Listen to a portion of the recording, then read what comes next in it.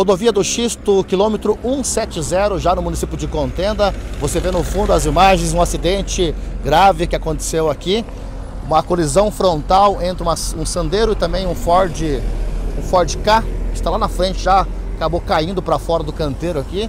Deixou aqui no local três vítimas. Mas graças a Deus não são vítimas graves, apenas aí código 2, sendo atendido pelo pessoal da concessionária Araucária que administra aqui o pedágio nessa região.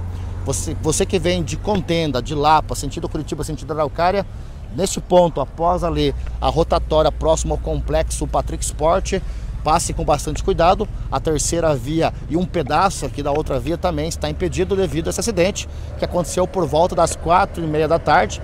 E o pessoal continua aqui ah, para fazer aqui a retirada do veículo pela concessionária.